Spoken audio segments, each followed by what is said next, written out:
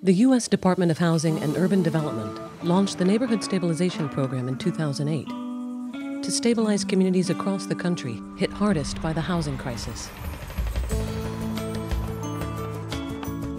We visited four of these communities in 2011 and now return in 2014 to learn about the successes, Congratulations. the challenges, and the continued stabilization efforts.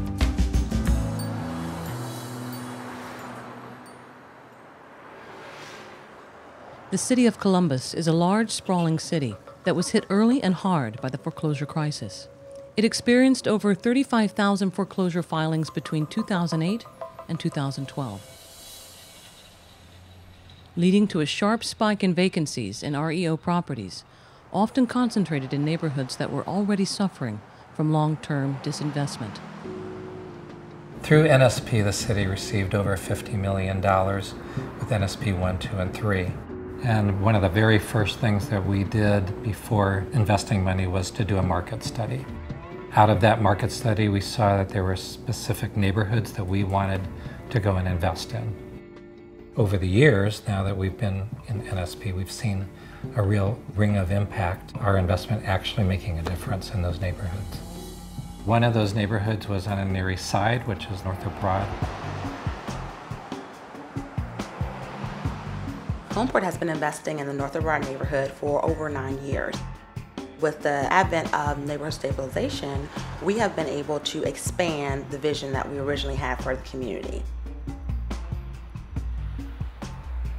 We've always had a goal of strategically investing in blocks at a time. We started on 21st, and one of the reasons that street has been such a magnet has been because of the city's partnership with us. That street got all new paving, all new curbs, all new pedestrian lighting. Represented here, you see our Homeport strategy of centralizing and concentrating our development on a block by block approach. So you have about eight properties just within walking distance of each other that have all been rehabbed or newly constructed to build back on the existing housing stock and bring neighbors back to the neighborhood.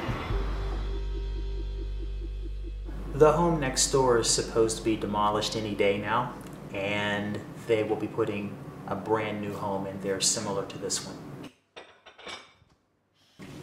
And actually, what, 10, 15 years ago, we lived not too far from this area. Back then till now, we definitely see a difference in the diversity in the community, and that also makes it very attractive. The area was definitely in transition when we moved here. There were a lot of vacant properties, a lot of empty lots, but we were confident in Homeport's mission and goals and work. Since moving in, over those five years, we've seen a lot of changes. I went to the Homeport site and I saw this listing. It was the first listing at the top of the website. I looked at it and I said, that is my home. I've always been a good resident, didn't have any evictions or anything, but every time I moved into an apartment, the rent would go up. And then because I was on such a tight budget, I would have to move again. And the last five years, I've moved my kids four times. I'm a single mom. I have three kids. All three of them are in college. I'm supporting them. I mean, without Homeport and their assistance, I wouldn't have been able to get this home. This house will provide my children and I some stability. All right. Hey, it's yours, and the house is mine. It is yours. Congratulations. Income diversity in an urban neighborhood is crucial. And it's income diversity that, in the end of the day, really makes a community work. It makes it possible to have a, a grocery store and a dry cleaner and a laundromat. And it, it makes all of the things that we consider essential to community life, it makes those things possible. Neighborhood of choice is a phrase that we use to represent what the neighborhood can be. And when we've established that as a goal, it meant that we had to address a number of different things, whether that be the infrastructure by working with the city, whether that be the services by making sure that we were in communication with our community police liaison, or whether that be the housing stock itself.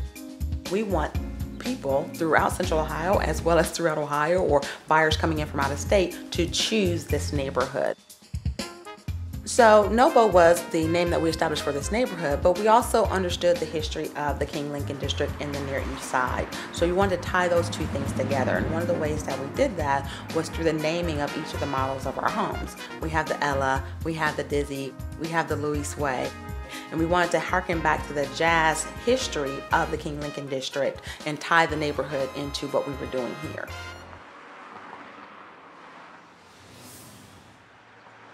One of the marketing pieces that we established early on was the penguin that you see that we use as our logo. On a lot of the vacant houses, even before we started to develop them, we painted North of Broad, Homeport, the little penguin logo so that people started to hear that and see that everywhere. We also used it in print media, online. We did coffee cup sleeves. We did sandwich boards. So we did the traditional things that you do to market a brand. North of Broad is existing in an inner city neighborhood in central Ohio. And some of the challenges that come with being in an inner city neighborhood include graffiti, loitering. Now, when was that? It's about five weeks ago. Five we weeks had that ago, rash of break-ins Yeah, on. probably like two months ago.